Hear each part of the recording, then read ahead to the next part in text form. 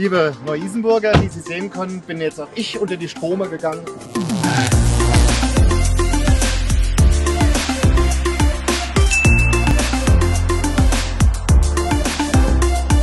Ich habe einen Elektrosmart hier für meinen Wahlkampf, vielleicht auch darüber hinaus als künftiges Dienstfahrzeug, muss man mal sehen. Aber ich sage Ihnen, was nützt das schönste Elektroauto, wenn es keine Ladeinfrastruktur gibt? Wir haben in Neu-Isenburg zu wenig Ladeinfrastruktur. Und deshalb setze ich mich ein als Bürgermeister für eine Verbesserung der Elektroladeinfrastruktur und vor allen Dingen auch für smarte Ladestationen, zum Beispiel an Straßenlaternen. Das wäre doch was, weil Elektromobilität nur dann stattfinden kann, wenn wir auch die Infrastruktur haben. Dafür setze ich mich ein. Am 26. September, Tino Seibel, Ihr Bürgermeister für Neu-Isenburg.